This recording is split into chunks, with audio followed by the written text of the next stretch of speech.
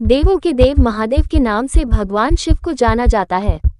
उनके स्वभाव के अनुरूप कई नाम हैं, जिनमें भोलेनाथ, शंकर, महेश, रुद्र, गंगाधर सबसे अधिक प्रचलित हैं। महादेव के बारे में कहा जाता है कि वह बहुत सौम्य हैं और उतने ही ज़्यादा रुद्र हैं। भगवान शिव इकलौते ऐसे हैं जिन्हें हर कोई प्रेम करता है। उनको देवता भी पसंद करते हैं तो असुरों में भी उतने ही लोकप्रिय हैं। असुरों ने कई बार कठिन तपस्या कर भगवान शिव को प्रसन्न किया और वरदान प्राप्त किया। चैनल को सब्सक्राइब करें और कमेंट बॉक्स में हर हर महादेव लिखें। स्वयं को समर्पित करना। आप देखते हैं कि पूजा के दौरान जैसे ही हर हर महादेव की पुकार होती है, वैसे ही सभी सभी लोग अपने हाथों को उठाकर हर हर महादेव का जयकारा लगाते हैं। ऐसा करते समय भक्त अपने आप को भगवान को समर्पित कर देता है। भक्त चाहते हैं कि भगवान जीवन की परेशानियों को हरकर उन्हें मोक्ष का वरदान दे।